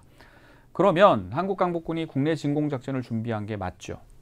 그런데 쌍성보 대전자령 전투는 북만주 지역에서 한국 광복군이 아니라 한국 독립군, 지청천의 한국 독립군이 중국의 호로군 등의 부대랑 연합해서 30년대 전반기에 만주 지역에서 싸웠던 거고요. 조선민족 전선연맹의 무장 조직은 말씀드렸던 김원봉의 조선 의용대가 되겠습니다. 1938년에 중국 관내 지역에서 최초로 만들어진 한국인 독립군 부대입니다. 중국의 의용군과 연합하여 영릉가 전투 등에서 승리한 것은 양세봉의 조선혁명군입니다. 조선혁명군. 그래서 한국 독립군하고 조선혁명군에 관해서 제가 잠깐 더 말씀을 드리면 어, 이 독립군 부대들이 자유시 참변 이후로 참의부, 정의부, 신민부 3부를 성립하죠. 이게 민정과 그다음에 군정의 기능을 담당하다 보니까 일제가 미스야 협정 등으로 탄압을 합니다. 3부 통합운동이 일어나고요. 그래서 북만주의 28년에 혁신의회, 남만주의 29년에 국민부가 만들어지죠. 혁신의회는 원래부터 1년이 기한이었기 때문에 없어져요. 그러다가 나중에 30년에 한국 독립당으로 계승이 되고요. 거기 산하부대가 한국 독립군 지청천이 있습니다. 그리고 국민부는 조선혁명당으로 개편이 되었다가 그 산하부대가 조선혁명군이 되겠죠. 양세봉 장군이 있습니다. 그래서 만주사변 이후로 우리 한국 독립군과 그 다음에 조선혁명군이 중국 부대들과 연합하여 한중연합작전을 전개하죠. 그래서 한국 독립군은 호로군 등의 부대랑 연합해서 쌍성보, 대전자령, 사도하자, 동경성, 뭐 경박고 전투 등을 전개했고 양세봉의 조선혁명군은 중국의 의용군과 연합하여 영릉과 흥경성 전투 등을 전개한 겁니다. 30년대 전반까지 이렇게 하다가 이제 만주국이 수입되고 이러니까 독립군들이 중국 관내 지역으로 많이 넘어가죠. 또 윤봉일 이것 때문에 관내 지역에서 무장투쟁도 허가가 됩니다. 그래서 김원봉이 민주혁명당을 만들고 또 임시정부의 김구는 한국국민당을 만들고 김원봉의 민주혁명당이 조선민족전선연맹으로 바뀌고 조선의용대를 만들죠. 그래서 민주혁명당에서 탈퇴했던 지청천, 조소왕 등이 임시정부의 한국국민당과 손을 잡고 한국강복운동단체연합회를 거쳐서 한국독립당을 만듭니다. 그리고 김원봉이 40년 3월에 충칭에 들어왔는데 어, 임시정부는 나중에 5월에 한국독립당을 만들고 9월에 들어와요. 그리고 한국광복군을 만들어버립니다. 그때 김원봉이 의용대 본부가 충칭에 있었으니까 항의를 했겠죠. 근데 만들었어요. 그러다가 42년 5월에 김원봉이 임시정부로 합류를 해버려요. 한국광복군으로 합류하면서 부사령관이 되고 그러죠. 그러니까 하복지대, 김원봉이 충칭으로 들어가는 것에 반발했던 조선의용대 하복지대가 원래 중국의 팔로군등과 연합해서 뭐 거기서 이제 스자장 전투 이런 거 하고 있었는데 이 부대들이 조선 독립동맹을 만들고 조선 의용군으로 개편이 돼버리는 겁니다. 자 그런 게 중국의 만주 지역부터 중국 관내 지역의 큰 틀에서 항일 독립군의 활동이에요. 됐죠? 그럼 자유시로 이동한 것은 자유시 참변을 당하는 21년의 상황이니까 해당 사항이 없습니다. 자, 정답은 1번인데요. 한국 강복군의 활동에서 먼저 어, 40년 9월에 창설하고 그 다음에 41년에 대일 선전포고하고 42년에 김원봉 세력을 받아들이고 43년에 영국군과 인도와 미얀마 전선에서 연합작전하고 45년에 국내 진공작전을 계획했다라는 겁니다. 실행에 옮기지 못했죠. 정답은 1번입니다. 42번 가시기에 있었던 사실로 옳은 것은 신문을 보니 며칠 전 정읍에서 이승만이 단독 정부 수립을 시사하는 발언을 했다. 이게 정읍 발언입니다. 자 그리고 우리 소련은 우리 소련의 주장은 작년 제1차 미소 공동위원회 때와 같습니다. 우리 미국은 신탁 통치에 반대하는 단체들을 제외하는 것은 부당하다고 생각합니다. 우리의 주장이 1차 미소 공동위원회 때와 같다라고 하는 것은 2차 미소 공동위원회라는 얘기죠. 그러면 정읍 발언, 그 다음에 2차 미소 공동위원회가 나왔습니다. 자, 그러면 이 문제를 풀기 전에 자 보세요. 이승만의 정읍 발언이 있어요. 남한 단독 정부 수립을 주장했습니다. 이것 때문에 큰 파장이 있어요. 자, 그리고 정읍 발언 다음에 좌우합작위원회가 만들어지고 좌우합작 7원칙이 나옵니다. 음, 그런데 그게 잘 안 됐어요. 미군 정이 지지했지만 잘 안 됐고 그 다음에 이 정읍 발언이 나온 것은 1차 미소 공동위원회 결렬 다음에 나온 겁니다. 그 뒤에 이제 좌우합작 운동 실패, 그 다음에 2차 미소 공동위원회가 있고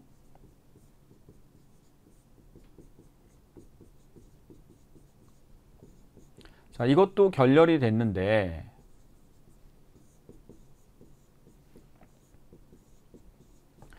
그런데 아까 이제 제시문을 보니까 1차 때와 같은 이유라고 얘기하고 있죠. 1차 미소공동위원회 때도 당시에 협의기구를 만들 때 뭐 찬탁단체만 들어가고 반탁단체는 안 된다 뭐 이런 내용들이었거든요. 그것 때문에 이제 결렬이 된 거예요. 그리고 미국이 한반도 문제를 유엔으로 이관을 해버립니다. 그러면 여기에 들어가는 가장 중요한 어, 사실은 뭐냐면 좌우합작 운동이 들어가는 게 제일 좋은 거예요. 좌우합작 운동. 찬탁 반탁으로 싸우고 있던 좌우가 정읍 발언을 계기로 뭉치게 되는 거죠. 여운형, 김규식. 처음에 미군 정도 이거를 지원을 했다는 겁니다. 나중에 지지를 철회하지만. 그런데 자 볼게요. 답은 일단 4번이고요. 답은 4번이고 제가 지우고 하겠습니다. 여소순천 11구 사건은요. 정부 수립 이후의 일이에요. 그래서 안 되는 거고 유엔 한국 임시위원단이 서울에 도착했다 그랬잖아요. 유엔 한국 임시위원단이 들어온 것도 48년입니다. 소련이 북한 쪽으로 못 들어오게 하죠. 그래서 유엔 소총회가 다시 열리고 하는 건데 그다음에 송진우, 김성수 등이 한국 민주당을 창당한 것은 45년 9월의 일입니다. 그럼 그 전의 일이고요. 조선건국준비위원회가 인민공화국을 수립 선포한 것도 45년 9월의 일이에요.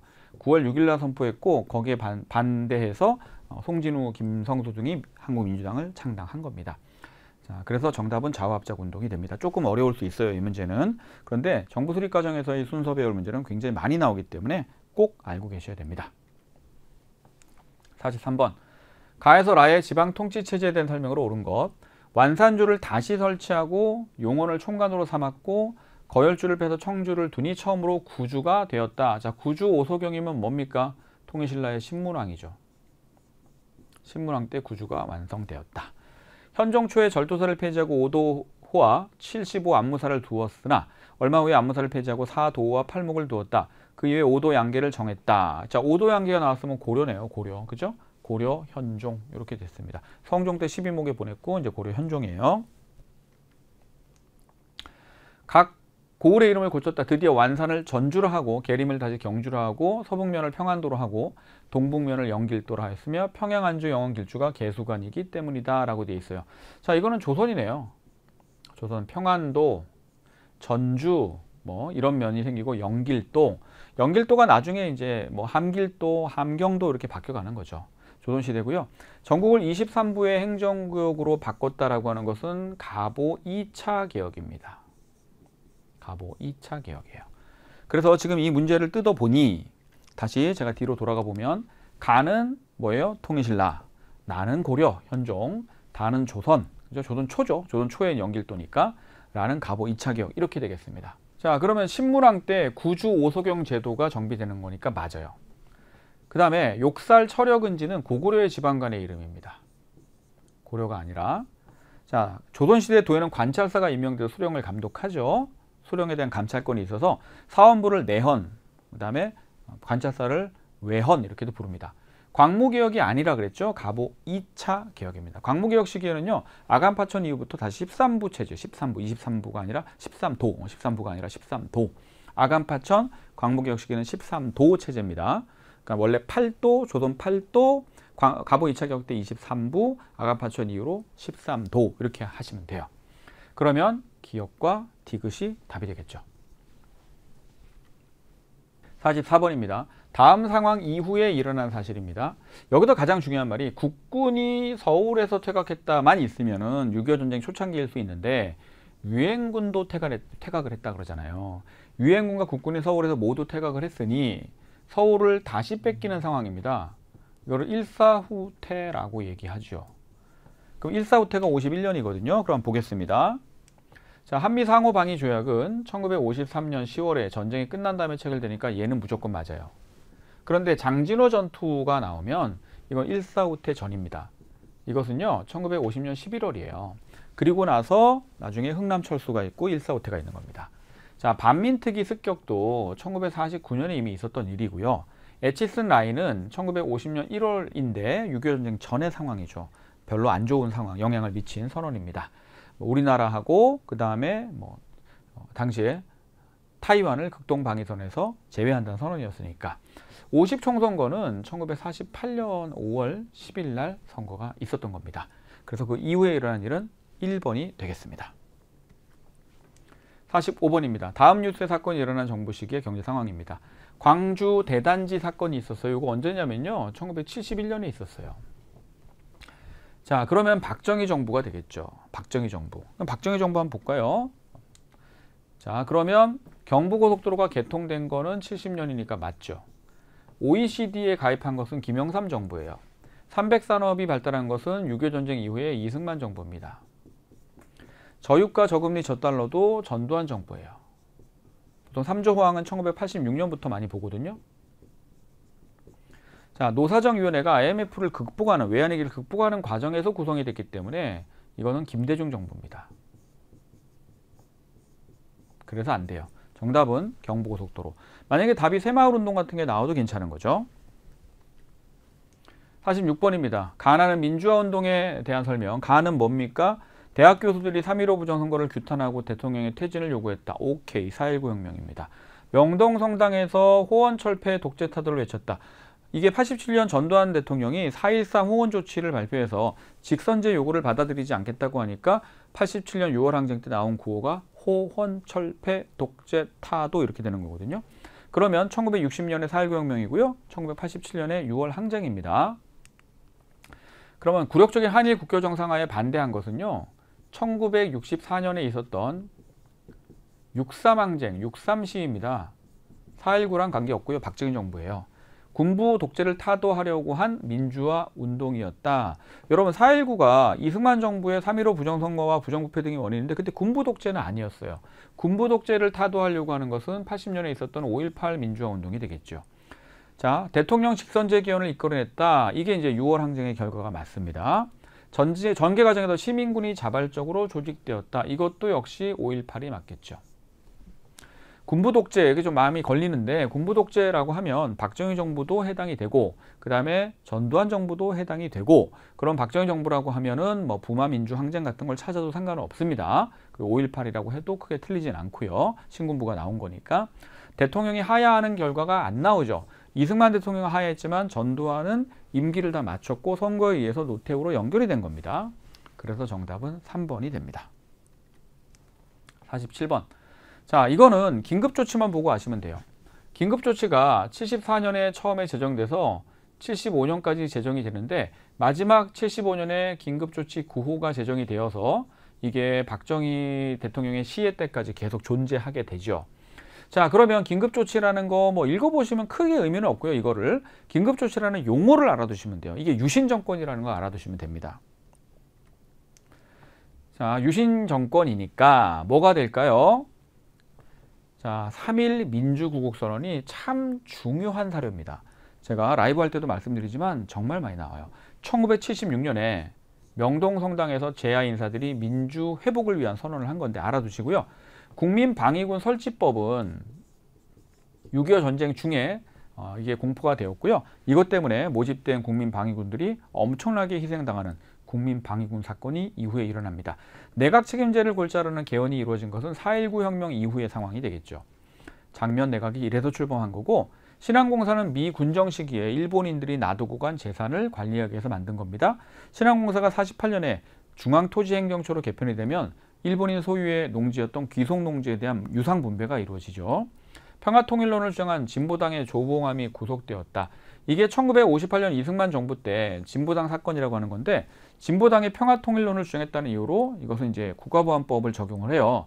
그래서 해체해버리고 조봉암은 구속됐다가 사형 판결을 받아서 59년에 조봉암에 대한 사형이 집행이 됩니다. 이게 그 유명한 이승만 정권 때 진보당 사건이라는 겁니다. 그때 신국가보안법 제정도 있고 경향신문 폐간도 있습니다. 48번입니다. 다음 연설문을 발표한 정부의 통일 노력입니다. 저는 김정일 국방위원장과 분단 55년 만에 처음으로 정상회담을 가졌습니다. 세 차례에 걸친 회담을 통해 우리 두 사람은 민족의 장래와 통일을 생각하는 마음과 열정에 큰 차이가 없으며 이를 추진하는 방법에 공통점이 많다는 것을 확인했습니다. 라고 쭉 얘기하고 있어요. 우리가 어쨌든 미국과 소련에 의해서 1945년에 38도선이 그어졌죠. 분단이 지금 55년이 됐대요. 시기적으로 2000년 아닙니까? 2000년에 김대중 대통령이 북한에 가요. 최초로 남북 정상회담을 평양에서 열게 되는 거죠. 그러면 이 정부는 김대중 정부입니다. 그렇다면 개성공업지구 조성에 합의한 거 맞고요. 그 다음에 6.23 특별성명은요. 박정희 정부가 1973년에 북한 쪽에 제안을 했습니다. 그러나 거부됐죠. 그 다음에 화해와 불가침 및 교류협력에 관한 합의서 이거를 우리가 보통 남북 기본 합의서라고 부르죠. 남북 기본 합의서 이것은 노태우 정부입니다. 남북관계 발전과 평화 번영을 위한 14 남북 정상선언인데 요거는 2007년에 노무현 정부 때 2차 남북 정상회담의 결과로 나온 겁니다. 그다음에 7사 남북 공동 성명이 1972년에 최초의 통일에 관한 합의서로 남과 북이 합의했고요. 남북 조절위원회를 후속 기구로 만들게 됩니다. 박정희 정부가 되겠죠. 정답은 개성공단 1번입니다. 49번 가에서 마에 들어갈 내용으로 옳지 않은 것입니다. 강수, 서희, 이해, 김홍지, 김규식 나왔어요. 자 일단 외교문서 작성에 능하여 김은문을 풀어달라는 글을 당나라에 보내죠. 청방 입문표 강수가 맞아요. 이거 맞고요. 그 다음에 자 앞으로 가보니 서희 어 이거는 이제 고려 성종 때 거란의 1차 침략을 말로 물리치죠. 그래서 강동육주를 확보한 건 맞습니다. 자, 그 다음에 이해라는 분 잘 몰라요, 우리가. 일본에 파견되어 개해약조 체결에 기했다. 개해약조는 세종 때 세견선 50척과 세사미도 200석을 약속한 건데 일단은 뭐 1443년 나도 보고요. 보빙사의 정권 대신은 누구냐면요. 민영익이에요. 민영익인데 앞에서 김홍집을 얘기했잖아요. 그래서 틀려요. 틀리고 파리 강화 회의에 독립청원서를 제출한다. 누군지 볼까요? 김규식 맞잖아요. 그렇죠? 김규식이 신한청년당 대표로 그러니까 요건 맞는 내용이죠. 그러면 정답은 민영익. 그렇죠? 앞에서는 누구라 그랬어요? 김홍집이라 그랬잖아요. 김홍집은 2차 수신사로 2차 수신사로 일본 가서 조선 책략을 가지고 와야 됩니다. 이렇게 되는 거고 그 다음에 음, 지금 이해라는 분은 뭐 그렇게 중요한 분은 아닙니다. 세종 때 계약주 이해와 변효문 등이 가는 거니까 그렇게 알고 계시면 되는 거고요. 자, 정답은 4번입니다. 50번 문제입니다. 가 지역에 대한 탐구 활동으로 가장 적절한 것은 대한민국 임시정부의 국무령 역임한 시 석주 이상용의 생가인 임청각 안동인데 그죠? 그의 독립운동에 대해서 발표하려고 합니다. 그럼 고창 전투가 안동이잖아요. 부산국 통일. 동쪽이 평안해졌다. 봉청사 극락전 안동에 있습니다. 가장 오래된 목조 건축이죠. 자, 도산서원 안동에 있죠. 태계이왕. 자, 임청각 이상용의 독립운동. 자, 안동 찾아볼까요? 그러면 자 보시면 김원창의 난이 신라 하대인데 웅천주 도독이었어요. 이 사람이. 그러면 지금 현재 공주 지역이라고 봐야 돼요. 그럼 강주룡이 고공농성을 한 곳이 을밀대 지붕인데 을밀대가 평양에 있습니다. 평양성에. 공민왕이 홍건적의 침략을 두 번 당하는데 1차 침략 때는 서경이 함락됐어요. 1362년 2차 침략 때 개경이 함락돼서 안동까지 피난을 갑니다. 노국대장 공주왕 이게 맞고요. 신립이 충주 전투에서 전사하죠. 투신을 한 거죠. 김삼이와 효심의 난. 자, 신라 하대 이제 이게 고려 무신집권기의 어, 반란인데 어, 김삼이와 효심의 난은 이의민 집권식입니다. 그때 김삼이가 일으킨 곳이 운문이라는 곳이에요. 그 운문은 안동과는 관계가 없고 지금 보면 오히려 경상도 청도 정도에 해당이 됩니다. 그래서 정답은 3번이 되겠습니다. 자 이렇게 해서 64회 한국사 능력검정 시험 심화 과정 해설을 다 마쳤습니다. 여러분 더 의문이 나시는 나는 부분은 댓글로 좀 올려주시면 또 저희가 답을 해드리고요. 그 다음에 저는 항상 시험 보는 날은 시험 보고 와서 라이브로 정답 발표하고 해설 강의 하고요. 시험 보기 3일 전에 막차 탑승 라이브를 진행하니까 그런 것들을 활용하시면 여러분들의 성적 향상에 엄청난 도움이 될 겁니다. 여러분 고생하셨고요. 저는 다음에 만나 뵙도록 하겠습니다.